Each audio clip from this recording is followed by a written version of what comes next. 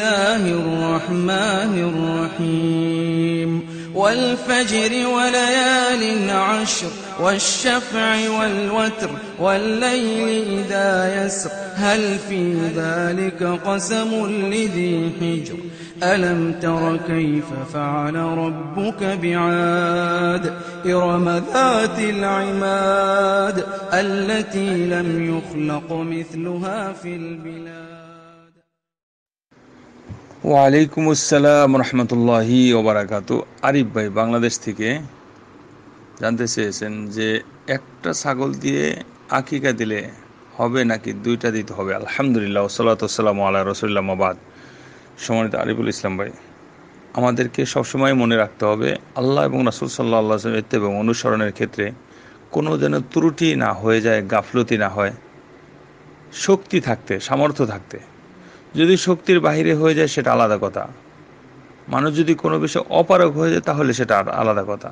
ভুলে যায়, সেটা অন্য কথা। যেমন আল্লাহ কোরআন মাদিতে বলছে লাইকাল্লিফুল্লাহ নাফসান ইল্লা বুসাহা। শক্তির বাহিরে আল্লাহ কাউকে কষ্ট চাপিয়ে দেন না, এটা আল্লাহর সুন্নদের বিরোধী।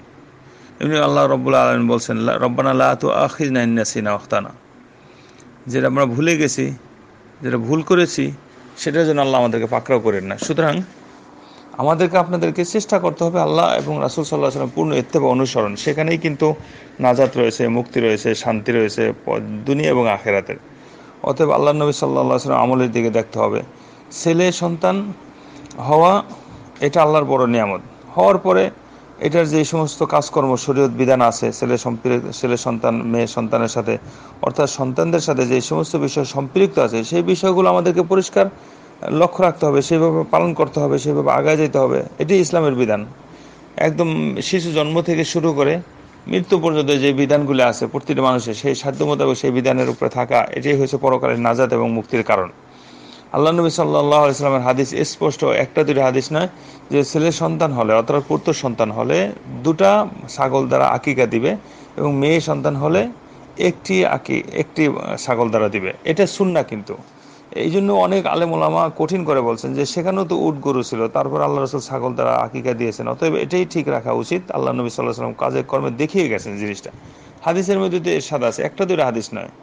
মেয়ে বাচ্চা যখন সাত দিনের দিন হবে, ছেলে হোক, মেয়ে হোক, আকিকা দেওয়ার বিষয়ে রয়ে কথা রয়েছে।